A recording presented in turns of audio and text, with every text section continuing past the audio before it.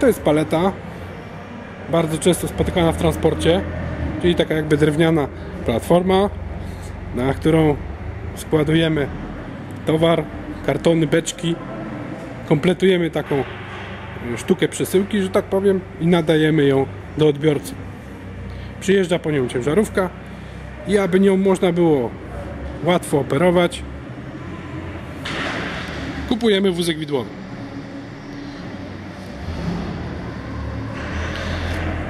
To jest, że tak powiem, średniej wielkości wózek widłowy. Są mniejsze, są oczywiście większe. Marki Caterpillar, model EP20CN, co oznacza Electric Power. Jest to wózek elektryczny o udźwigu 2 ton. Dzisiaj postaram się w miarę szybko i y, sprawnie omówić budowę i zasadę działania wózka widłowego. Zacznę może od wideł, dzięki któremu zawdzięcza on swoją nazwę. Są tu takie płaskowniki w kształcie litery L, które wsuwają się paletę i ją unoszą. Najczęściej chyba spotykany osprzęt w wózku widłowym, bo możemy zamontować tu różne rzeczy. Może to być e, wystający taki walec, którym będziemy unosić rolki stali w górę. Może to być tutaj być e, takie łapy, którymi będziemy chwytać rolki papieru, ściskać je i podnosić do góry. Także mamy różne pole wyboru, co tutaj domontujemy do wózka. E, bardzo często zaraz z wózkiem, zaraz z widłami, przepraszam, występuje tu taka krata metalowa z płaskowników, która stabilizuje ładunek podczas przemieszczania go. Zaraz za widłami mamy karetkę, na którą zawiesza się właśnie widły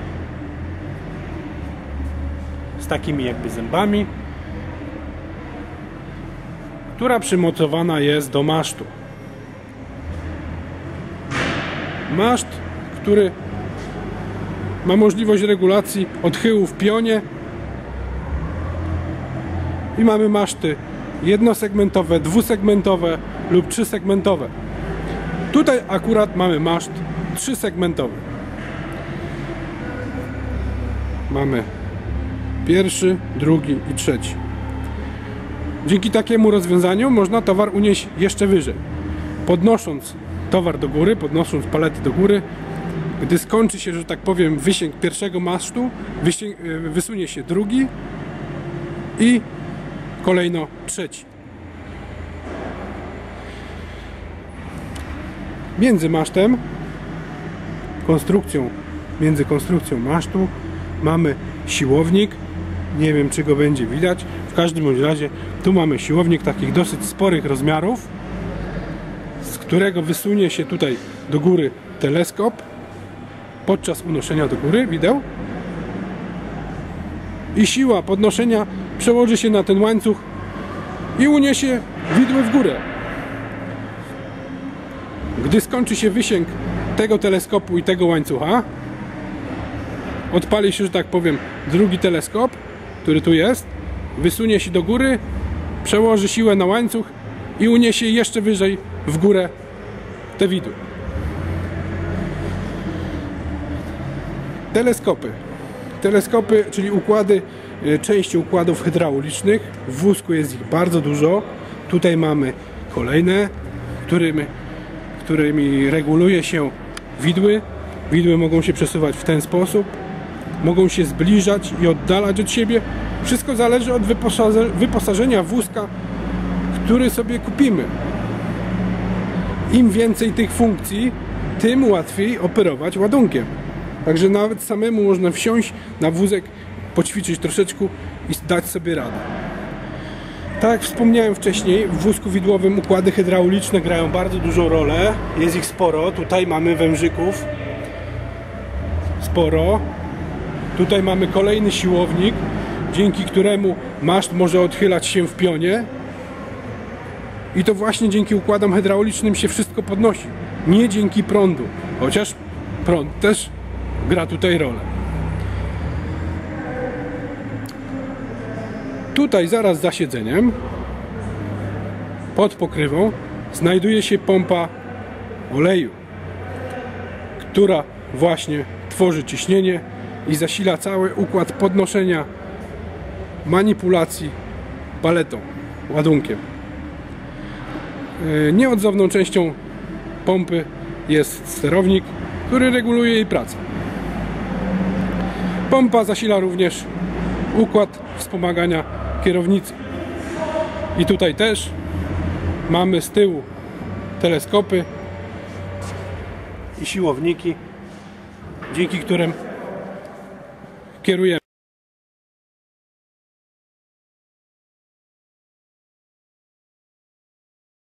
Jest to wózek elektryczny i tutaj w tym wózku poruszamy się właśnie dzięki energii elektrycznej, która zasila silnik, dzięki któremu się poruszamy. Tutaj pod siedzeniem kierowcy jest pokrywa, która się unosi w górę i tam jest zespół akumulatorów o łącznym napięciu 48 V. Ładuje się to tutaj poprzez wyciągnięcie wtyczki, połączenie jej z bazą. Ładuje się kilka godzin i można jechać. Masa łączna tych ogniw, w tym akurat wózku, to około tonę 100. Także dosyć sporo.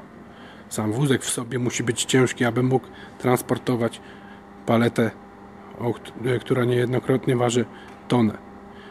Dlatego wózek jest wykonany, że tak powiem, z odlewu. Tutaj cały dół to jest jeden wielki odlew metali, który zwiększa jego masę. I dodatkowo mamy tutaj z tyłu przeciwwagę, wykonaną również z takiego odlewu, która zapobiega przechyłowi wózka. Dalej mamy kabinę. W tym przypadku jest to kabina zwykła, sama konstrukcja właściwie kabiny, bez dachu. Kierowca sobie tutaj zamontował, jak widać, zrobił sobie dach. Widocznie zdarza mu się raz na jakiś czas wyjechać gdzieś na zewnątrz. Tutaj również mamy dosyć spore pole wyboru. Jednak gdy wózek używamy sporadycznie, używamy go najczęściej w pomieszczeniach, nie ma sensu się zbytnio przeinwestowywać. Także zamawia się to, co się potrzebuje. Tu mamy oczywiście światła robocze z przodu. Bardzo często pojawiają się lusterka szerokokątne, które y, powiększają pole widzenia kierowcy, który porusza się do tyłu. Wózkiem bardzo często poruszamy się do tyłu. Przeważnie zawsze, gdy mamy z przodu paletę, która ogranicza widoczność.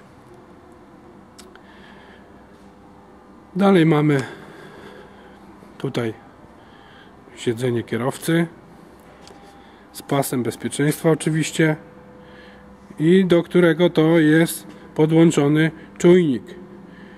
Czujnik, dzięki któremu nie odpalimy sprzętu dopóki nie siądziemy na fotelu. Ma tutaj takie właśnie e, takie, że tak powiem, zabezpieczenie ten model przed przypadkowym ruszeniem wózka. Dalej mamy kolumnę kierownicy regulowaną tutaj tą wajchą. Na kierownicy znajduje się taka gałeczka, która ułatwia sterowanie. Oczywiście sygnał dźwiękowy. Tutaj dźwignie. Tutaj skrzynka sterująca, o której opowiem może w następnym odcinku i jak się tym operuje. Ręczny